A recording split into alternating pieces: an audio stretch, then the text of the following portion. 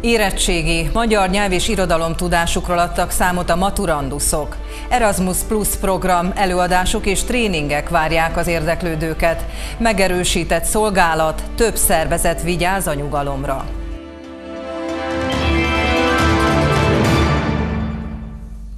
Híradó a Nyíregyházi Televízióban, jó estét kívánok!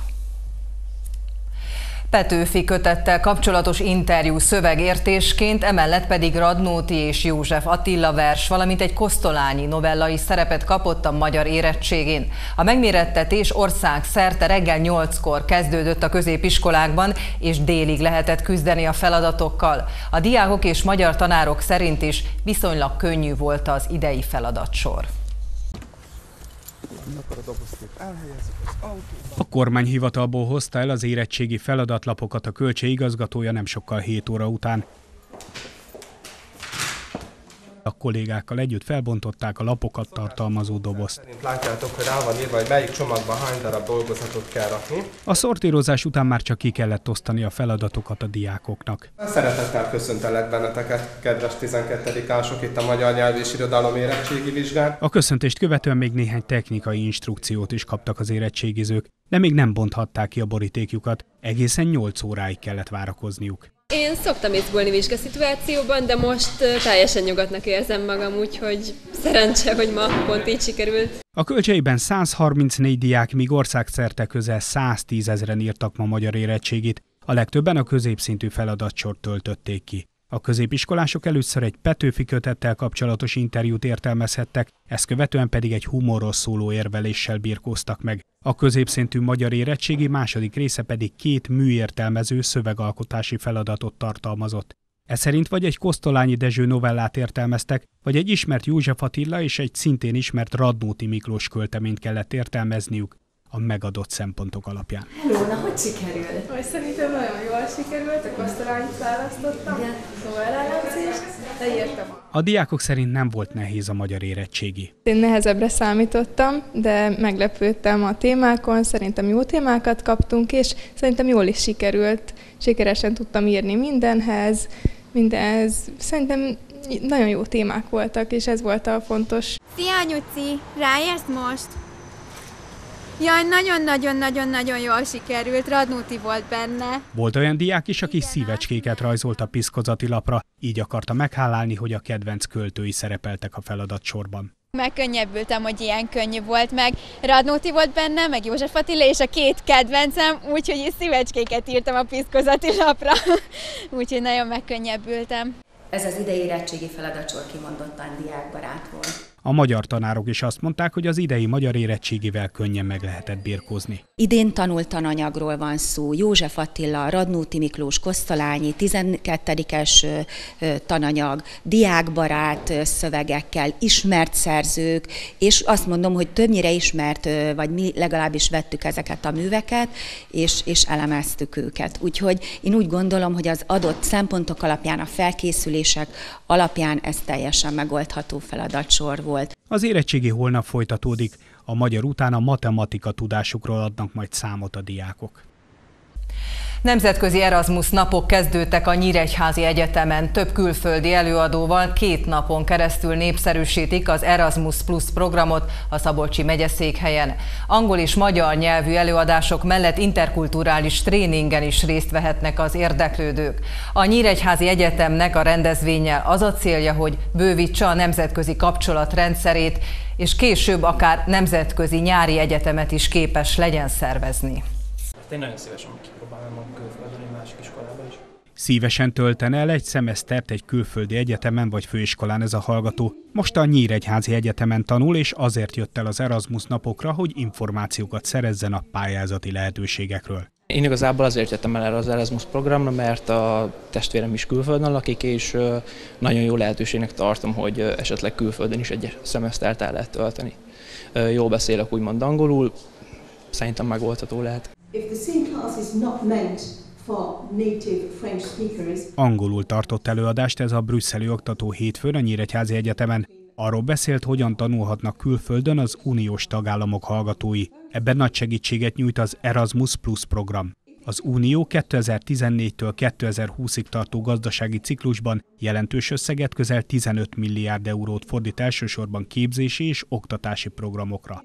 A tervek szerint 4 millió pályázó számára biztosítanak ebből az összegből forrásokat. Ma az is kiderült, hogy ebből a keretből szeretné nemzetközi kapcsolatait és képzési kínálatát fejleszteni a Nyíregyházi Egyetem is. Az Erasmus Mundus keretében szeretnénk közös kurzusokat kialakítani külföldi egyetemekkel. Ennek az a lényege, hogy három intézmény közösen egy szakot létesít. Természetesen angol nyelvű a képzés. Közösen állítják össze az anyagot, minden egyes országban akreditáltatni kell a, a szakot, de hát ez egy óriási lehetőség lenne, ugyanis a különböző fél éveket a hallgatók a három ország valamelyikében teljesíti. A tanárképzési főigazgató arról is beszámolt, hogy egy tematikus nyári egyetemet is szeretnének létrehozni a Nyíregyházi Egyetemen. Ez pedig a forrásokon kívül megfelelő partnerekre és a nemzetközi tudományos életben is elismert oktatókra, előadókra van szükség. Az Erasmus rendezvény a mai angol nyelvű nap után kedden magyar nyelvű előadásokkal folytatódik. Májustól péntek éjszakánként újra megerősített szolgálatot lát el a Nyíregyházi rendőrkapitányság a helyi polgárőrséggel és a közterület felügyelettel együttműködve. A fokozott közterületi jelenlét elsősorban a lakosságot zavaró és a szubjektív közbiztonságérzetet hátrányosan befolyásoló jogsértések megelőzésére irányul. Itt vagyunk, rendben van minden. Az előző évek pozitív visszajelzéseit követően a Nyíregyházi rendőrkapitányság a helyi polgárőrséggel és a közterület felügyelettel együttműködve májustól péntek éjszakánként újra megerősített szolgálatot lát el Nyíregyháza területén. A fokozott jelenlét elsősorban a lakosságot zavaró és a szubjektív közbiztonság érzetet hátrányosan befolyásoló jogsértések megelőzésére irányul, illetve a szórakozni induló fiatalok biztonságát segíti. A közterületi szolgálat tervezésekor a hatóságok figyelembe vették az állampolgári bejelentéseket és a korábbi jogsértések jellemző helyszíneit. Leginkább a közterületek rendjének a biztosítása az, amely életre hívta ezt a polgárőr-rendőr közös együttműködést már immár harmadik éve, harmadik esztendeje. Leginkább a, a környéken, a játszóterek környékén, a biztosított helyszínek környékén lakóknak a nyugalmát szeretnénk fenntartani, illetőleg az sem egy utólagos szempont, hogy a fiatalok szórakozását megfelelő kultúrát mederbe tudjuk terelni, biztosítani. Megelőzzük a verekedéseket, a garázdaságokat, a motiválatlan, indokolatlan rongálásokat például. Egy-egy ilyen ellenőrzött éjszaka előtt a polgárőrök eligazításra bemennek a rendőrkapitányságra, megismerik azt a rendőrjárőrpárt, akikkel együtt fognak dolgozni. A váltásparancsnoknak folyamatos a kapcsolata a polgárőrség koordinációs irodájával, hogy az információk gyorsan eljussanak egymáshoz. A polgárőrök 8 helyszínt biztosítanak, miközben a közterület felügyelők a belvárosi központjukban figyelik a térfigyelő kamerákat, velük is folyamatos a kapcsolat. A pénteki megerősített szolgálatban legkevesebb 30 ember dolgozik együtt a biztonságért. Az első közös szolgálatra a középiskolai végzősök ballagásának éjszakáján május 5-én került sor, amikor a szórakozni vágyó fiatalok biztonságát már megerősített közterületi jelenléttel szolgálták Nyíregyházán. Az ellenőrzött éjszaka nyugodtan telt, rendkívüli esemény, rendzavarás, illetve jogsértés nem történt. Smolár Andrásnét köszöntötte 90. születésnapja alkalmából családja és Andó Károly önkormányzati képviselő. Az ünnepelt 1927-ben született Nyíregyházán, azóta is a város lakója. 1968-ig Kovács Bokorban dolgozott, 1947-ben ment férjhez, a házasságból két gyermek, egy fiú és egy lány született. A gyerekeket Zsuzsika néni egy ideig egyedül nevelte, hiszen a kulák üldözéskor a férjét koholt vádak alapján bebörtönözték, 1956-ban engedték szabadon. Később a Házi Ipari Szövetkezet bedolgozója lett, majd Suján Bokorba költöztek, és a család ellátása lett a fő feladata. Zsuzsika néni jó egészségi állapotnak örvend, 80 éves koráig autót is vezetett, szeret olvasni, napilapokból és magazinokból tájékozódik, de szívesen forgatja reklámújságokat is. Napjait öt unokája és kilenc dédunokája teszik széppé. Egyenlő munkáért, egyenlő bért címmel tartott sajtótájékoztatót Lengyel Máté a Jobbik Magyarországért mozgalom nyíregyházi alapszervezetének elnöke. A politikus kifejtette, 13 évvel ezelőtt lépett be Magyarország az Európai Unióba, de a nyugati életszínvonalhoz nem került az ország közelebb, hanem inkább leszakad attól. Hozzátette, folyamatos az elvándorlás, a bérek itt a legalacsonyabbak, adózni kell a minimálbér után, a 27%-os áfa pedig rekordnak számít. Kiemelte ezért is fontos, hogy a megyében, illetve a Nyíregyházán élők is többet tudjanak meg a bérunióról, ennek érdekében a Jobbik országjárásba kezdett. A megyében első alkalommal Gyöngyösi Márton országgyűlési képviselő nyújt május 11-én délután tájékoztatást az érdeklődőknek Nyíregyházán. A bérunió egy szélesebb támogatottsággal bír a magyar lakosság körében, Épp ezért tartjuk fontosnak, hogy a megyében, illetve a leszakadó régiókban a lehető legtöbben megismerjék a bérunió lényegét, Ismét lesz Electrolux futás Nyíregyházán. Hogy milyen távokban állhatnak rajthoz az indulók, az mindjárt kiderül. Előtte még nézzük a nap további híreit. Szombat délben a Búzatéri nagyparkolóban az egyik gépjármű sofőrje megálláskor nem húzta be a kéziféket, és járműve egy másik autónak gurult. A szerencsétlenségben személyi sérülés nem, csupán kisebb anyagi kár keletkezett. Vasárnap reggelre a négyes számú főútvonal László utcai szakaszán egy ismeretlen gépkocsi több terelőtáblát és keresztáblát letarolt, jelentős kárt okozva ezzel. Tettével az ott folyó építési munkálatokat és a közlekedést is veszélyeztette. Vasárnap délután baleset történt Sóstóhegyen a Kemecsei út és a Nyírség utca kereszteződésében. Egy személygépkocsi eddig ismeretlen okok miatt megsodródott és átcsúszott az út bal oldalára, ahol kidöntött egy reklámtáblát és a tetejére állt. Két személy a balesetet kisebb karcolásokkal úszta meg, az anyagi kár viszont jelentős. Vasárnap délután Nyíregyháza belvárosában egy kerékpáros szabályosan haladt bicikliével a számára kijelölt úton, amikor egy autóval koccant. A balesetben személyi sérülés nem, viszont kisebb anyagi kár keletkezett. Vasárnap délután a 41-es főútvonal Orosi úti bevezető részén két személygépkocsi ütközött össze. A ráfutásos baleset oka, hogy az egyik sofőr helytelenül választotta meg a követési távolságot, személyi sérülés nem történt. Szintén vasárnap délután a 403-as elkerülő körforgalomnál történt egy újabb baleset. Egy autós nem megfelelő sebességgel haladt ki a körforgalomból és keresztbe fordult, majd a szemből érkező gépkocsinak csapódott. Mindkét autó totál káros lett, a vétlenjármű utasa kisebb zúzódásokat szenvedett. Hétfő reggel a gyepmester segítségét kérték az Arany János utca lakói, hiszen kóborkutyák járkáltak a környéken. A három ebb közül egyet a gyepmester kábító lövedékkel ártalmatlanított és elszállította a helyszínről, a másik két kutyának azonban sikerült elmenekülni.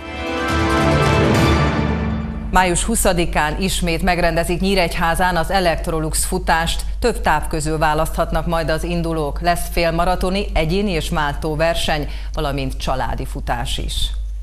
Május 20-án harmadik alkalommal is benépesülhet az Electrolux futás résztvevőivel a Kossuth tér. A Nyíregyházan is gyárral rendelkező cég évek óta megszervezi a szabadidősport rendezvényt. Számukra fontos a társadalmi szerepvállalás. A város is mennyi lehet attraktívabb legyen, hogy vonzó legyen a, a város a, a fiatal munkaerő is. Azért minden megteszünk mi is, hogy közösen az önkormányzattal, hogy minél érdekes legyen élni és dolgozni Nyíregyházán. Ezúttal is megrendezik a családi futást, ahol 2700 métert kell futniuk a nevezőknek, a félmaratoni távot pedig egyedül vagy váltóban is lehet teljesíteni. A nap során számos kiegészítő program és vetélkedő is várja a résztvevőket, a legjobbak pedig értékes ajándékokat kapnak. De lesz ugrálóvár, cukorágyú arcfestés és részt vesznek Beregszás, Zsesóv, Izerlon és Eperjes csapatai is az eseményen. Az útvonal ezúttal a központban lesz kijelölve, azaz a legszebb részeken halad majd el. A verseny évek óta fontos szerepet tölt be Nyíregyháza sport életében, és mivel most a városnapokkal egy időben van, így a cég és a megyeszékhely közösen szervezi az eseményt. Az Electroluxszal már közös hagyományaink vannak, a tíz éves évfordulókon, tíz éves futást, átadtuk az elektronikus sétányt, akkor indult, volt már Vidor félmaraton, most ez folytatódik, és ráadásul ez a közös szervezés mellett még kiemeltebb az időpont, hiszen a városnapi rendezvények után május 20-án szombaton kerül megrendezésre, és újszerű lesz, hiszen most nem a sóstóra, hanem a város nevezetességeit érintve a félmaraton és a, a belvárosban lesz, ahol megnézhetik a futók a, a város szép épületeit. Most már van mit megnézni, hiszen már lassan 20-hoz közelebb van az, amit az elmúlt 5-6 évben felújítottunk, vagy valakik, tulajdonosok itt felújítottak, és hát remélem, hogy ez ugyanolyan sikeres lesz. Nagyon sok kísérő rendezvényt is szervezünk, külön gondolunk a gyerekekre, azt gondolom minden korosztályra, és mivel a városnapi rendezvénysorozathoz kapcsolódik, testvérvárosaink csapata is részt vesznek a váltófutásban, mint ahogy természetesen a városházi csapat is. A verseny helyszíne a Kossuth tér lesz. A félmaratoni versenyre előzetesen a nyíregyháza.hu oldalon és a Continental Arénában lehet nevezni. A program 9 órakor kezdődik, az eredményhirdetése pedig kora délután kerül sor. Megyei rangadót rendeztek a hétvégén a labdarúgó MB2-ben. A Nyíregyháza Spartacus a második helyen álló Kisvárdát fogadta. A két csapat nagy csatát vívott. Igazi presztízs mérkőzést rendeztek a Városi Stadionban, ahol a Kisvárdát fogadta a Nyíregyháza Spartacus. Óvatosan kezdtek a csapatok, az első percekben nem forogtak veszélyben a kapuk. A 38. percben Rudolf 35 méteres szabadrúgását tolt a szögletre Ivancsics, majd a sarokrúgás után Kónya lőtt fölé. Az első félidő nagy taktikai csatát igen, gólt nem hozott. Az 56. percben viszont megszerezte a vezetést a Nyíregyháza, egy szöglet után kifejelték a labdát a védők, Kónya Márk pedig kapásból szép gólt lőtt. A 70. percben megduplázta előnyét a Spari, Rudolf Gergely szerzett erőszakosan labdát, majd Takács Tamáshoz passzolt, aki a kapuba bombázott 2-0. A 76. percben hatalmas zicser maradt ki, Takács vezette tisztán a labdát kapura, majd önzetlenül Rudolfhoz akart passzolni, így mentettek a védők. A másik oldalon Vári lőtt kapura a bal oldalról, de a kapufát találta el. A Spartacus végül megnyerte a megyei derbit, és megszakította a Kisvárda 11 meccses veretlenségi sorozatát.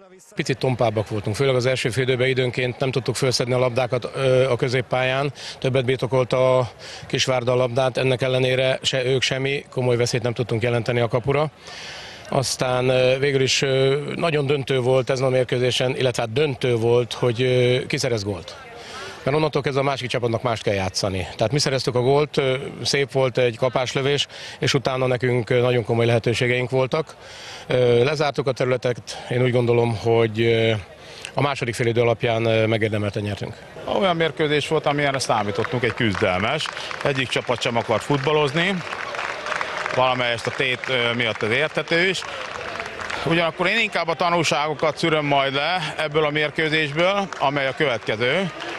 Nagyon jó volt, hogy egy ilyen felfokozott hangulatú, magas elvárással bíró mérkőzés volt, melyen megbizonyosodtunk, hogy mentálisan kik azok a játékosok, akikre a későbbiekben nem számíthatunk, mert ezek a hibák, amelyek előjöttek, ezek sorozatosak nálunk. Gyengébb csapatok ellen nem tudják ezt az ellenfeleink kihasználni, de mi ezzel tisztában vagyunk. Négy forduló van hátra, teljesen tiszta képet kaptunk, és én nekem ez a pozitív dolog. Mindig azt szeretem leszűrni belőle, ami pozitív. Most is nem bántani fogom a játékosokat, természetesen, mert most is a miénk, hanem Hát a következő szezonra gondolunk már most is a következő összeállításoknál. Ezzel együtt gratulálok a Nyíregyházának. Nem voltak jobbak, mint mi, de rúgtak két gólt. A Nyíregyháza a következő fordulóban Sopronba látogat. Híradónk végén nézzük főbb híreinket még egyszer néhány mondatban. Petőfi kötettel kapcsolatos interjú szövegértésként, emellett pedig Radnóti és József Attila vers, valamint egy Kosztolányi novella is szerepet kapott a magyar érettségén. A megmérettetés országszerte reggel 8-kor kezdődött a középiskolákban, és délig lehetett küzdeni a feladatokkal. A diákok és magyar tanárok szerint is viszonylag könnyű volt az idei feladatsor. Nemzetközi Erasmus napok kezdődtek a Nyíregyházi Egyetemen. Több külföldi előadóval két napon keresztül népszerűsítik az Erasmus Plus programot a Szabolcsi megyeszékhelyen. Angol és magyar nyelvű előadások mellett interkulturális tréningen is részt vehetnek az érdeklődők. A Nyíregyházi Egyetemnek a rendezvényel az a célja, hogy bővítse a nemzetközi kapcsolatrendszerét, és később akár nemzetközi nyári egyetemet is képes legyen szervezni. Májustól péntek éjszakánként újra megerősített szolgálatot lát el a Nyíregyházi rendőrkapitányság a helyi polgárőrséggel és a közterület felügyelettel együttműködve. A fokozott közterületi jelenlét elsősorban a lakosságot zavaró és a szubjektív közbiztonság érzetet hátrányosan befolyásoló jogsértések megelőzésére irányul. A Nyíregyházi Televízió híradóját látták, rögtön jön az időjárás jelentés, legfrissebb hírekkel pedig kedden is jelentkezünk majd. Megköszönöm figyelmüket viszontlátásra!